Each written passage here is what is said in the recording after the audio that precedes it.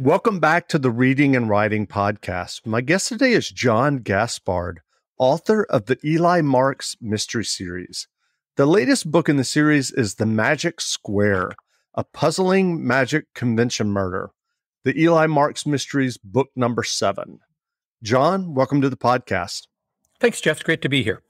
Sure. Well, if someone hasn't yet heard about your novel, The Magic Square, a puzzling magic convention murder, how would you describe the novel? And also, how would you describe the Eli Marks mystery series? Sure. Uh, the Eli Marks series is currently seven books long. It's a what's referred to as a cozy mystery because most of the violence happens uh, off screen. It's uh, a light, humorous mystery uh, about a magician named Eli Marks who lives in Minneapolis, Minnesota. He's in his early 30s. He was raised by an uncle who was a master magician and who owns a magic store in Minneapolis. And Eli's decided to try to make his living as a magician, doing trade shows and birthday parties and corporate events and that sort of thing. Uh, he occasionally stumbles into uh, a murderous situation where he is sometimes uh, the prime suspect, or he knows a prime suspect, or something happened right in front of him and he's the prime witness on it. The seventh book in the series the Magic Square, follows him to a magic convention. I don't know how many people know about magic conventions, but they're quite uh, there's there's a lot of them uh, where magicians, both professional and amateur, gather together for three or four days at a hotel in a city somewhere, and they uh, have lectures where they learn uh, all about their craft, and there are shows where they get to see some of the top performers in the world. And in this particular instance, the Magic Square, uh, Eli has gone to the convention with his uncle Harry, who is uh, in his 80s and has been a magician for probably 60 or more years. He has just published a uh, two volume set of all of his work. And so he's there at the convention to sell that. And he's brought along his friend Abe Ackerman, who is a mentalist. Uh, on the very first day, there is a competitor to Abe who shows up. They've had a lifelong rivalry. And a few hours later, that guy is dead. And uh, Eli is charged by his uncle with uh, getting their friend Abe out of jail and home before the convention ends in three days. So it is uh, a mystery, but it also gives readers kind of an inside look at what it's like to attend one of those conventions. If uh, if you enjoy magic, uh, you will enjoy the inside jokes if you are intrigued but not really a magic person, uh, I think you'll come for the mystery and stay for the humor.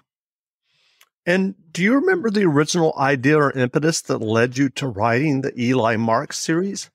Sure. I had uh, written a standalone mystery called The Ripperologists about uh, people who are intensely knowledgeable on Jack the Ripper who come together to solve uh, someone's recreating the murders in present day. And uh, in the Ripper community, there uh, one thing that divides people is who they think Jack Ripper was, and in this case, that's a dividing line between these two people, and also how you would try to investigate the case. I enjoyed that process, but I wanted to write something a little lighter, uh, and I realized that I had a, a, a, remarkable number of people in my life who are magicians. Uh, I am not a magician, but I knew more than the average person knows when it comes to having magicians in your life and I found them to be funny and a little obsessive and sort of fascinating. And I thought, well, that's a really good hook. That's a good uh, starting point for a magician. Uh, but I wanted someone who wasn't perfect, uh, who had flaws. And so I gave him a, an uncle who is kind of perfect, who is sort of a Sherlock Holmes. And uh, Eli isn't that smart and wants to be. So he in most cases uh, solves the mystery. In some cases, he solves it wrong and ends up throwing himself more in danger. But I just felt like it was something uh, that would lend itself to a series of books because uh, magic tricks uh, have such great names. So immediately I had a bunch of titles like The Ambitious Card or The Linking Rings or The Miser's Dream. Those are fun titles. And there was a lot of different environments that I could put my magician in, whether it's in the store dealing with customers, or in this case, at a convention in the Magic Square, uh, at a particular high end magic club in the Linking Rings. Uh, there's just lots of places that magicians show up, and, and that would allow him to interact with a lot of different people and, and a lot of suspects in each of the murder cases. I'm curious, what resonates with you and interests you about your protagonist, Eli Marks? I'd like Eli because he is so flawed He's not uh, tragically flawed, but he has enough neuroses uh, that uh, he's sympathetic and interesting. For example, in the first book, he uh, is teaching someone how to be a magician. And one of the things that magicians deal with when they're first starting out is guilt, because I don't want to. Uh, I don't want to give anything away here, but sometimes sure. magicians will lie to you when they're doing a trick, and so you're required to lie. And he was, in working with the student, he's talking about how do you deal with guilt, and at that same time, Eli was feeling kind of guilty about something in his life. So that book was about guilt. Uh, in the second book, he started to have panic attacks uh, about heights and the reasons why he's having panic attacks. So that became sort of a flaw. In the third book, a really, really good magician comes to town, and, and Eli feels threatened, not only for his career, but also for his relationship, because the magician who came to town seems to like Eli's girlfriend. So in each instance, there's something going on with Eli uh, above and beyond the mystery that keeps him interesting and, and engaging. Uh, in the most current book, The Magic Square, he is uh, literally trying to decide whether or not he's going to stay in magic because he's not sure he's really satisfied by it. He's not uh, really getting the pleasure out of it that he used to. And so he needs to figure out do I want to stay or do I want to go? Well, you also write a different mystery series as well, the Como Lake mystery series written under the pseudonym Bobby Raymond.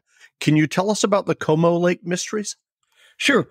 Um, I wanted to do a second series that was uh, involved a female protagonist, uh, and I wanted to do it uh, from a third person point of view because all of Eli's stuff is directly first person Eli, and uh, there's certain benefits to that when you're writing because uh, you are giving the audience exactly what your hero knows and doesn't know. He's not keeping secrets from you. Uh, but there's also certain drawbacks because you really can only examine what he's seeing.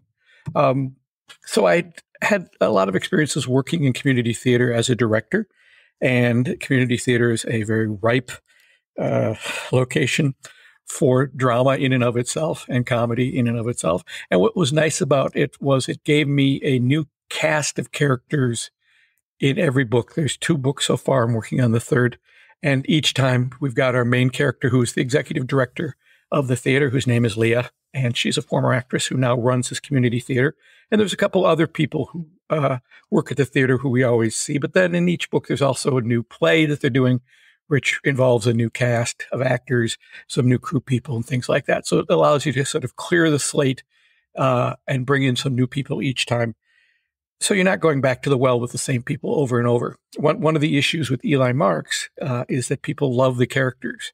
There's Eli, there's his Uncle Harry, there's Uncle Harry's new wife, Franny, there's Eli's girlfriend, who now his wife, Megan, there's his uh, best friend, Nathan, who's a child's magician, there's Eli's ex wife and her uh, new husband, uh, which is a pretty big cast. And then when you uh, add on to that, you need to bring in a lot of other people as suspects for each story it gets kind of crowded.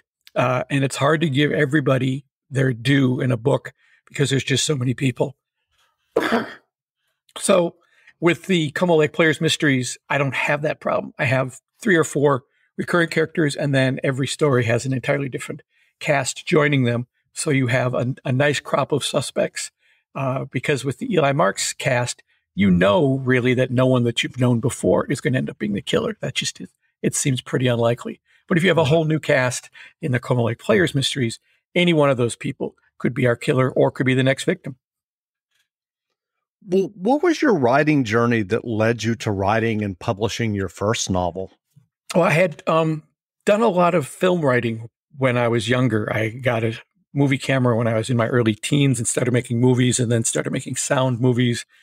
And in order to go out and shoot something and edit it, you needed a script. So I sort of taught myself how to uh, write a script. I did uh, a, degree at the university on filmmaking. I took some classes from one of the founders of the American Film Institute on screenwriting and wrote a lot of screenplays, uh, sold some TV stuff, and then produced a lot of stuff myself, a lot of low budget feature films. And so that was my background was screenwriting uh, and producing low budget movies. I also worked in the corporate world as a video producer and writer and so I wrote a lot of uh, scripts that way. So I had a pretty good ear for dialogue and a pretty good sense of pacing on things. And when I uh, I got the idea for the Ripperologists, like I said about the two people who are going after modern day Jack the Ripper. Mm-hmm. Uh, when the idea came to me, I thought this doesn't feel like a screenplay. I mean, I, I, imagine it would make a fine movie, but it there was so much interior stuff going on. Uh, I thought I better try this as a novel instead, and I did that and liked it, and I was off and running. That's great. I'm curious. Do you still make low budget feature films that you mentioned? Um, I did one a couple years ago uh, called uh, Ghost Flight, and then one after that called The Cookie Project. And those are both, uh, you can find them on Facebook or on IMDb. Uh, I haven't done one lately because it, it uh, well, because of the pandemic, it's really hard to get people sure. together, that sort of thing. And it is uh, a, a, it's a group endeavor. That no right. one goes out and makes a movie by themselves. Whereas I can sit down uh, and in my spare time write a book by myself. So I, I'm able to get more done without having to uh, schedule people and uh, transport people and feed people. Completely understand. So, how do you feel that your filmmaking experiences impacted your novel writing, if at all? Well, it's a great education to write something and then um, shoot it and edit it because you you learn what you need to get to tell a story and what you what you don't need. Um, you learn uh, that it's going to be better dramatically to get into a scene as late as possible. So you're not doing a lot of uh, unnecessary work. It also helps to get out of the scene as early as you can. So you're, you're not dragging on. And, and that absolutely ties in to novel writing. I think one of the first pieces of advice I read when I started that process, and I think it was from Larry McMurtry. I hope it was from him. He said, uh, don't write the parts people skip over which sounds kind of glib until you sit down and start reading your own work and you find yourself skimming. And you go, oh, if I'm if I'm skimming past this, everyone else is going to skim past this. Uh, and it's the same thing in in screenwriting. Uh, you don't want to write the stuff that's going to get cut, particularly if you have to shoot it uh, and go to all the trouble of doing that. Um, it's it's really hard in the editing room to cut out a scene that was either expensive or very, very complicated to put together. But when you realize that it's not moving the story ahead, uh, a, a, wise editor makes that cut, which is why sometimes film editors don't want to uh, be on the set. They don't want to know how difficult something was. They just want the footage in front of them and they'll tell the story from it. It's much, much easier for me to cut a chapter out of a book uh, that isn't really moving things along or cut six or seven paragraphs here or there uh, that's a whole lot easier process than cutting something and it took me, you know, a month to set up and two days to shoot, and, uh, that had a lot of money involved. So it, I learned from the filmmaking process just how to how to get rid of uh, the dead weight easier. Hey, this is Jeff from the Reading and Writing Podcast.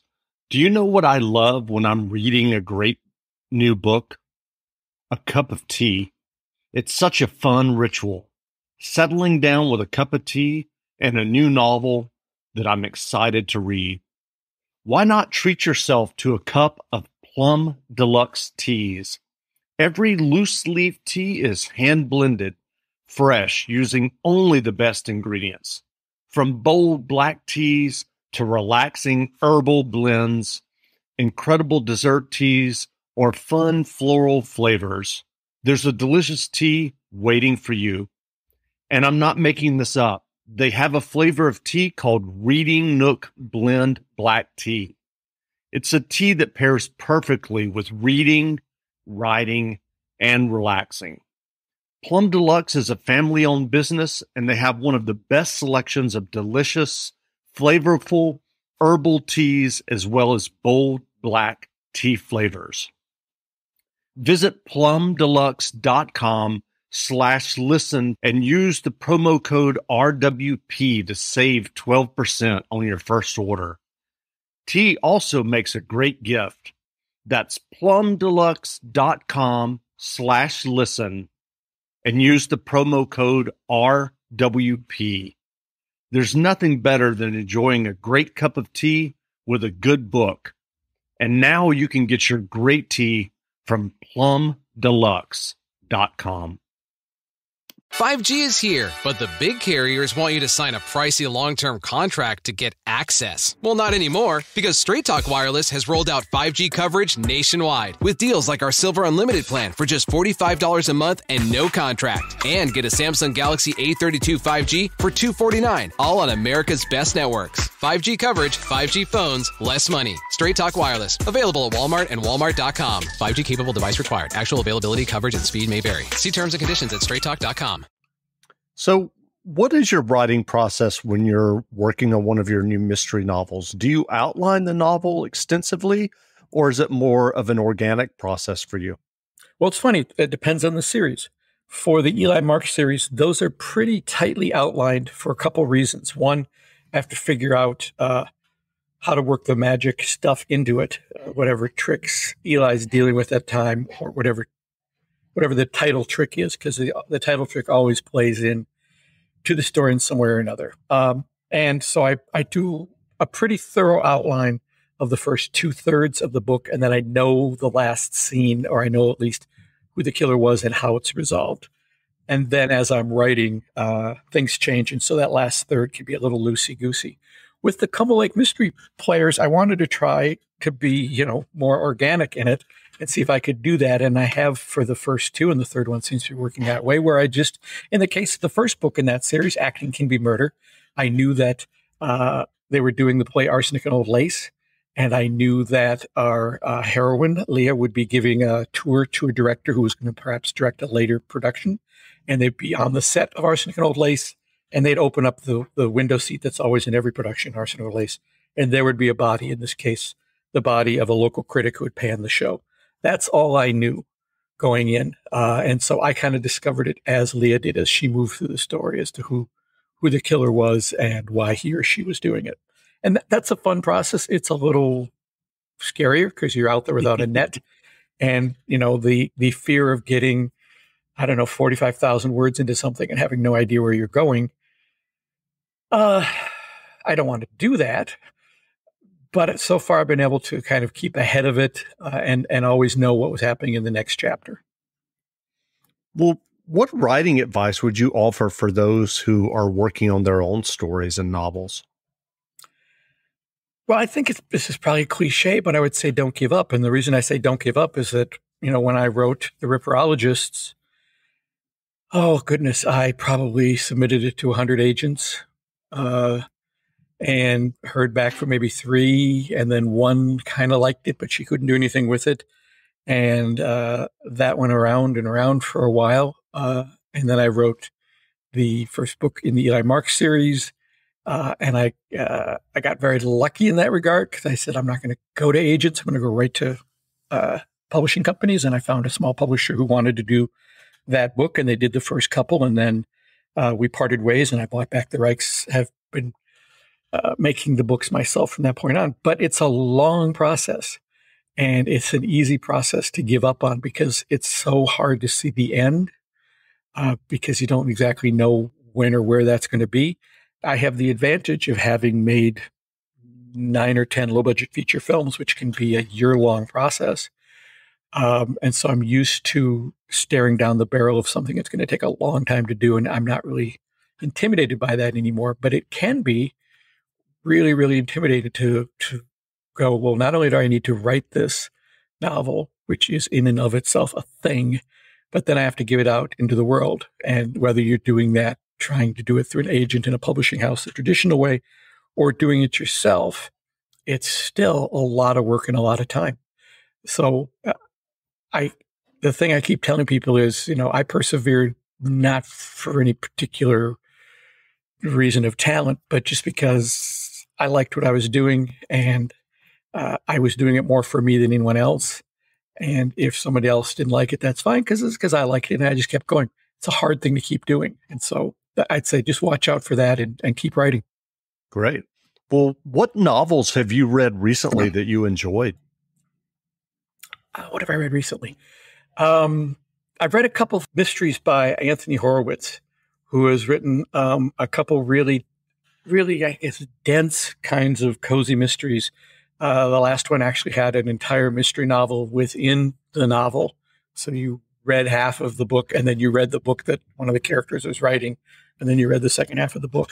Uh, just deeply convoluted mysteries that uh, it's not the sort of thing I can write. I don't have that sort of a puzzle mind, so it it it drives me a little uh, crazy trying to figure out how how he does that. But he does it so well that uh, it, even though it's something I could never ever do, um, they're just great. And another new one that came out recently uh, was Richard Osman's uh, The Thursday Murder Club, which was also a, a lot of fun. Um, he's a British uh, TV presenter who has uh, written uh, his first mystery, and I think he has another one called uh, The Man Who Died Twice coming out. just fun little cozy mysteries. And then I always, you know, I'll revisit if BookBub or somebody has a deal on an Agatha Christie I haven't read uh, I will pick that up and look at it just to remind myself of the form. Uh, I've been lucky enough to direct a couple of her plays, and so I can I, I, get a better idea of how her mind works when it comes to that sort of thing. But it never hurts to go back and look at the master. Sure. Well, where can people find you online if they'd like to learn more about you and your novels? The best place to go is uh, elimarksmysteries.com. That's E L I M A R K S mysteries.com. Uh, you'll find all the Eli Marks mysteries there. You'll find uh, a link to the Como Lake Players mysteries. And you'll also find the newest thing we're doing with Eli Marks, which is uh, called Behind the Page, the Eli Marks podcast.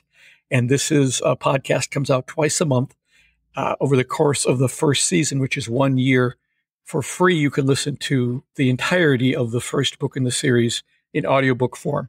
That's the ambitious card. There's 23 chapters and over 23 episodes. You can hear each chapter for free and binge on them if you like.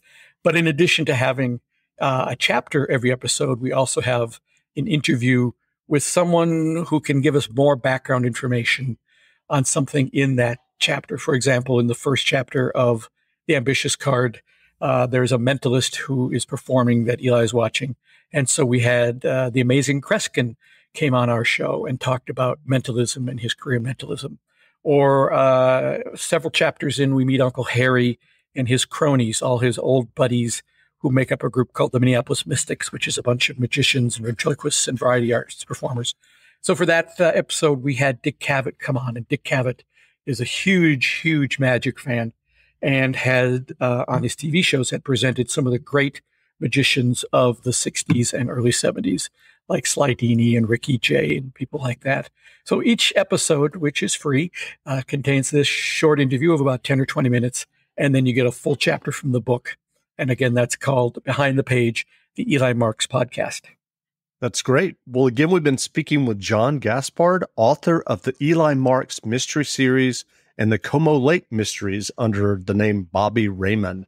The novels are on sale now, so go buy a copy. And John, thanks for doing this interview. Thanks, Jeff. It's been a lot of fun. Great. That was great. I have spent countless evenings with Abe Ackerman and the other Minneapolis mystics as they talked and drank in the bar next to our magic shop.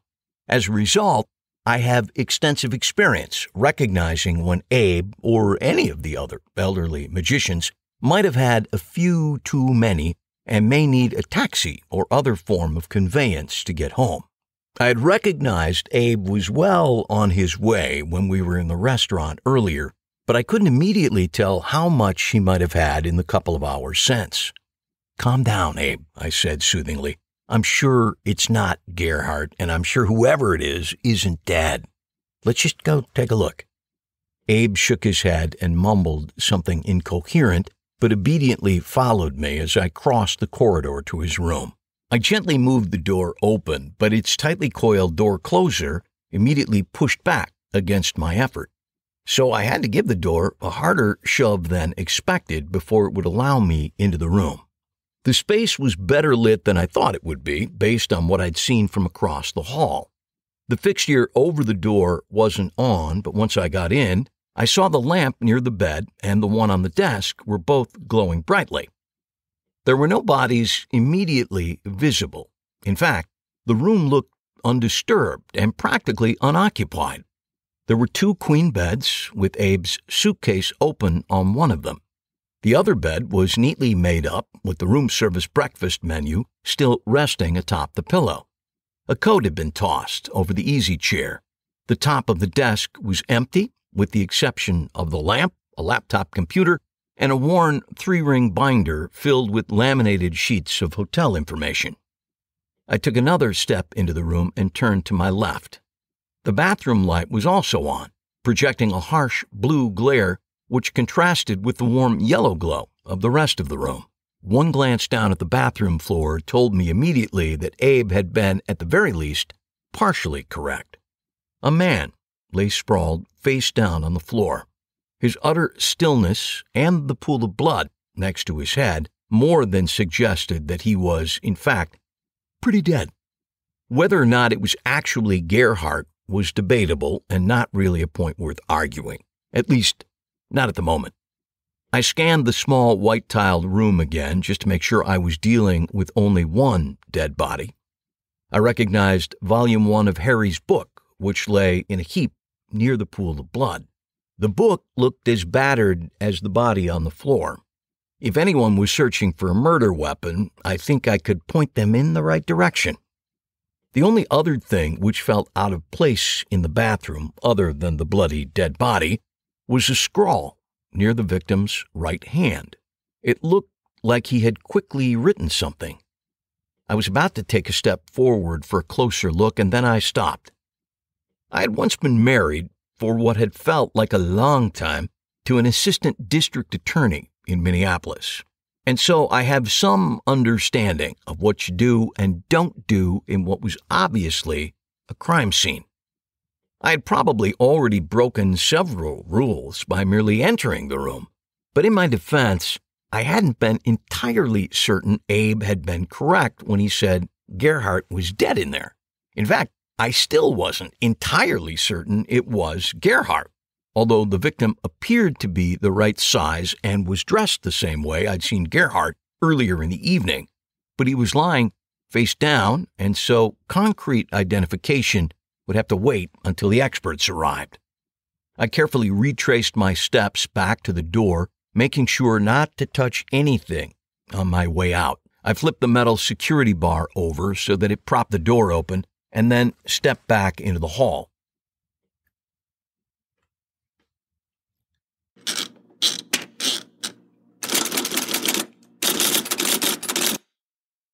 At JCPenney's Memorial Day sale, sizzling deals are on with store-wide doorbusters all weekend. Or bring home savings up to 50% during our Memorial Day home sale. Save even more with your coupon. And for all former and active military personnel, enjoy an extra 10% off in store. Just show a valid military or VA ID at checkout. Shopping is back. JCPenney. Coupon valid on select styles through 530. Some exclusions apply. Doorbusters valid 526 through 530 and excluded from coupons. See store or jcp.com for details.